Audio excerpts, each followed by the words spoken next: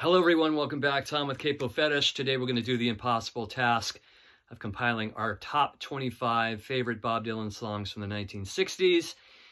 Considering how prolific he was even from 63 to 66, it's not an easy task, but we're going to do it.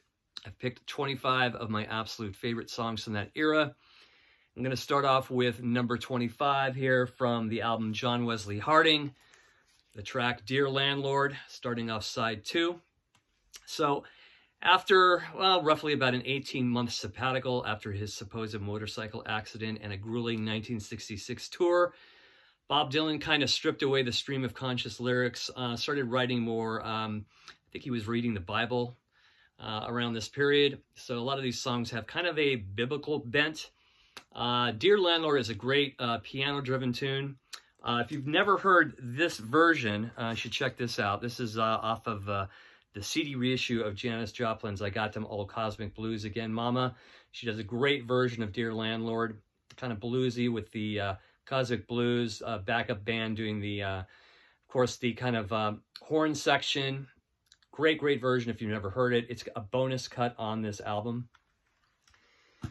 Coming on at number 24 off of the Basement Tapes box set is This Wheel's on Fire, a phenomenal song covered by a lot of artists. Uh, one note being uh, Brian Auger and Julie Driscoll's version in the late 60s. Another great version is uh, The Byrds after Dr. Uh, Byrds and Mr. Hyde. That's a great version. And then Siouxsie and the Banshees back in the 80s did a, a really rousing version as well. Great, great song, This Wheel's on Fire. This version, of course, having the band backing him up for the basement tape sections at Woodstock. And uh, I think there's quite a few versions on this. I think the one I like the most is the one they cleaned up for the actual basement tapes release in 75. That's a great version. Coming in at number 23 after another side on another side of Bob Dylan is Spanish Harlem Incident. Great tune, also covered by the Byrds on Mr. Tambourine Man. Great, great tune. Coming in at number 22, track one, side two of Highway 61 Revisited, Queen Jane. Queen Jane, approximately. And uh, I don't know if you guys have ever noticed, but the guitar always sounded a little bit out of tune on this uh, on this cut. Maybe that adds to the aura, the whole vibe of the song. But it, oh, I think Dylan's uh, Stratocaster, maybe it was Telecaster, sounds just a tad bit out of tune with the rest of the instruments. But love this tune, Queen Jane approximately, Highway 61 Revisited from 65. Coming in at number 22. Uh, coming in at number 21 off Nashville Skyline. Just a beautiful song. I threw it all away. I think there's a version on one of the um, bootleg series of him and Johnny Cash doing this. Correct me if I'm wrong, but uh, love this tune. And I think this is a really underrated Dylan album. Uh, clocks in just like just about 30 minutes long. Yeah, there's some kind of hokey sounding songs in here, but I just kind of like this kind of down to earth Dylan on this album. A lot of great tunes. Uh, of course, the duet with Bob, um, Johnny Cash, Girl from the North Country is fantastic. So yeah, I threw it all away, coming in at number 21. Going back to Highway 61 Revisited for number 20, It Takes a Lot to Laugh, It Takes a Train to Cry. What a great tune. I love the piano, that kind of um, kind of barroom piano going on in the middle of that. And just the way, uh, you know, when you listen to, uh, I, I forget what bootleg series it is. I think it's um, The Cutting Edge or the one where uh, it features a lot of songs from Highway 61 and uh, Blonde on Blonde. Uh, he does, uh, he, he, works up the song, this song, It Takes a Lot to Laugh, It Takes a Train to Cry. And it doesn't even sound like this version at all. So um, it was well worth going over the song, um, you know, just just kind of refining it to where it, came out like this on this album. It sounds amazing. Always been one of my favorites. It takes a lot to laugh. It takes a train to cry off Highway 61 Revisited. Coming in at number 19 off the Freewheelin' Bob Dylan is The Girl from the North Country.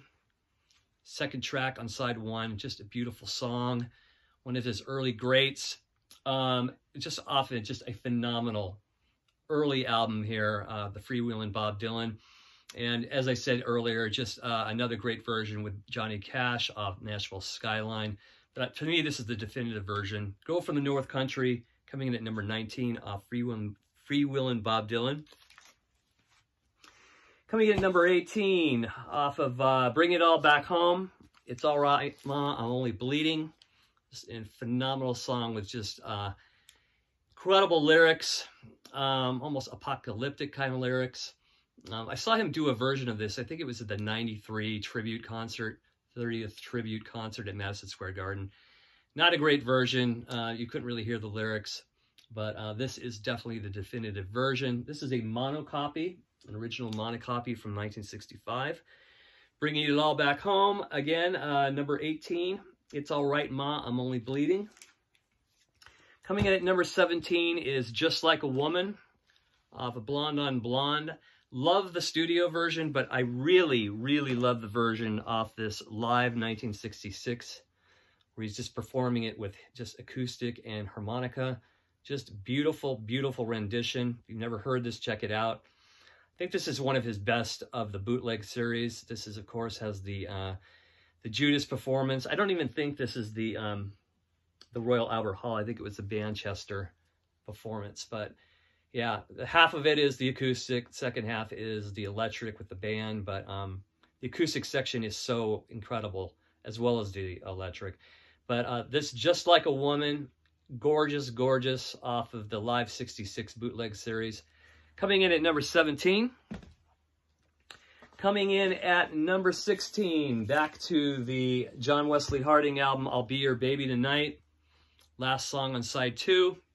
Uh, back in the day uh, when I was in a band, we did a version of this. Such a great, fun song to play. And uh, I really love this album, John Wesley Harding. I think this is one of my top three or four all-time Dylan albums. So I'll Be Your Baby Tonight. Coming in at number 16 on my list. Coming in at number 15 is the absolute epic Sad-Eyed Lady of the Lowlands off Blonde on Blonde from 66, taking up all of side four. Um, it just kind of um, just kind of has this rhythm that just, uh, it's very soothing. I think this was written about his wife, Sarah. And it's just, um, it's almost like you don't want it to end. It just keeps kind of going. It's almost kind of um, daydreamy, kind of dreamy pop sounding. I always love Sad-Eyed Lady of the Lowlands. Always puts me in a really fine mood.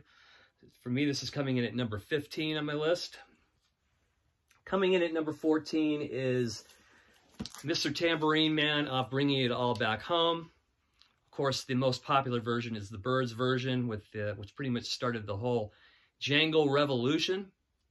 But I love his version as well. I think it's just as good. I love that second guitar, whoever's playing it, adding those arpeggios. Just, uh, just gorgeous, gorgeous melody. Uh, the lyrics are so, um, you know, what, what would you say? Uh, surreal and wonderful. Um, yeah, just an incredible song, incredible melody, one of his best. Mr. Tambourine Man for me coming in at number 14. Coming in at number 13 is an absolute timely song for this day and age as we enter 2024. Hard Rain's Gonna Fall off Freewheelin', Free Will and Bob Dylan. It was very timely then, very timely now. I think the song will always be very relevant. Incredible song. A Hard Rain's Gonna Fall off of Freewheelin' Bob Dylan coming in at number 13. Coming in at number 12, we go back to the Bringing It All Back Home album for She Belongs to Me. Another great ballad of Dylan's great imagery, great just lyrical content as always, and great melodies. I think during his 65, 66 period, I think that has some of his greatest melodies he's ever written. And this is no exception. She Belongs to Me, coming in at number 12. Coming in at number 11 is a song I've always loved off of uh, John Wesley Harding, Drifter's Escape. Uh, last song on side one. If you've never heard it, check out Jimi Hendrix's version off this posthumous release, South, South, South, South Saturn Delta. Came out in 1997. It's a compilation. He does a really cool rockin' version of Drifter's Escape. Got to check that out if you can. Pull it up on YouTube. So that's coming in at number 11, Drifter's Escape off of John Wesley Harding. Coming in at number 10 off of Bringing It All Back Home is Love Minus Zero. Another song I like just as much as She Belongs to Me. Just another wonderful ballad. Great melody. Coming in at number nine, another epic song of Blonde on Blonde. Stuck Inside a Mobile with the Memphis, Memphis Blues again. Grandpa died last week and now he's buried in the rocks. Everybody was talking about how badly they were shocked. Great, great song. Uh, love the instrumentation. I love the way it ends. That melody is fantastic. Goes on for about 10 minutes. Uh, I think the first time I ever heard this was on the Greatest Hits Volume 2. This is just, I think, one of his absolute best. Stuck, stuck Inside Mobile with the Memphis Blues again. Coming in at number 9. Back to the Bringing It All Back Home for number 8. It's All Over Now, Baby Blue. A song that he ended his Newport Festival set in 65 where he plugged in. And he looked a little uh, shook up from the performance there. And it was a great way to end the performance. He was moving on at this point from the topical uh, subject matter, moving into more stream of conscious lyrics. A new era for Dylan. It's all over now, Baby Blue, one of the greatest songs ever written. Coming in at number eight. Coming in at number seven, back to the Freewheelin' Bob Dylan album, Masters of War, another real timely song, as there's several wars going on right now. Another song that will always be, unfortunately, relevant, and uh, one of his more angriest songs off of a, just a timeless album from 63, Freewheelin' Bob Dylan, coming in at number seven, Masters of War. Back to Bringing It All Back Home, number six, Maggie's Farm. Great song. Another great song he did uh, on the, um, I think he opened up Newport 65 with that song.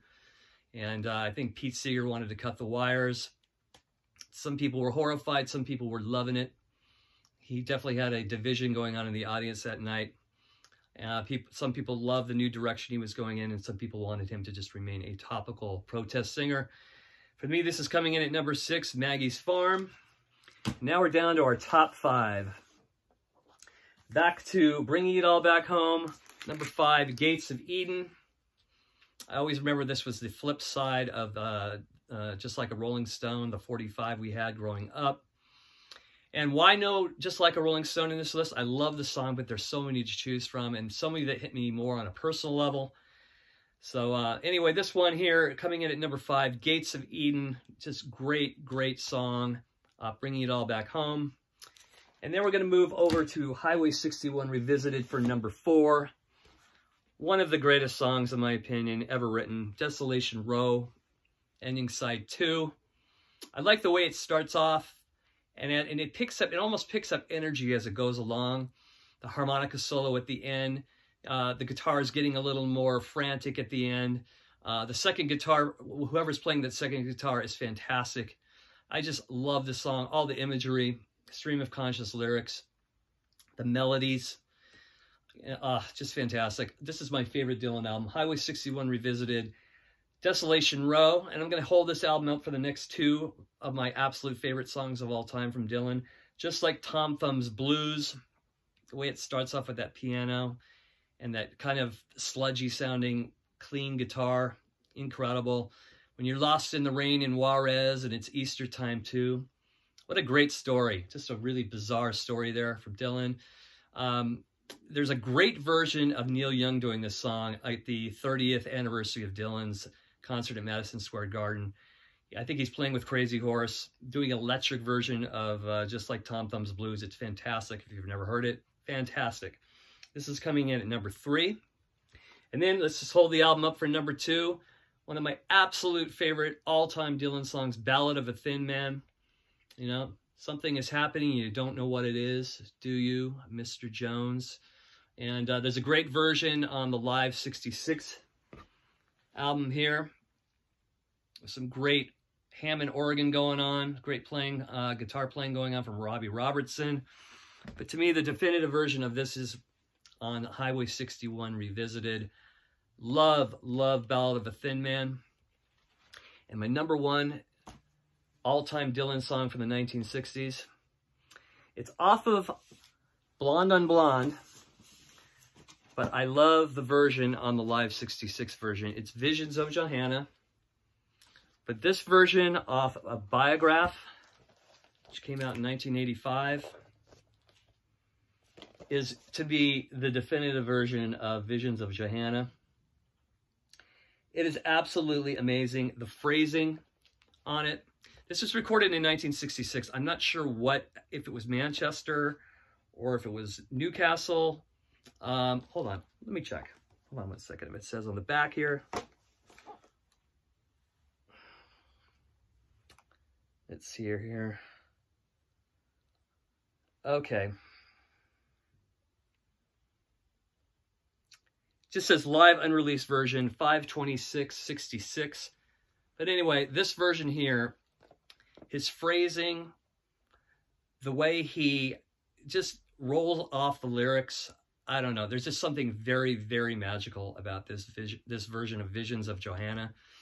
Anytime it comes on on my pod, I absolutely just crank it. It's just, there's something really mesmerizing about it, almost transcendent.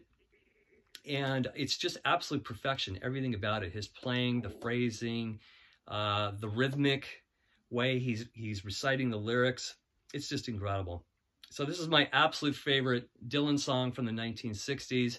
And this particular version of Visions of Johanna on the Biograph box set from 1985. What are your favorite Dylan songs from the 1960s? Give me your top 10, top 15, 20, 25. I'd like to know. Thank you so much for watching. Please subscribe. Have a good day, everybody. Take care. Bye-bye.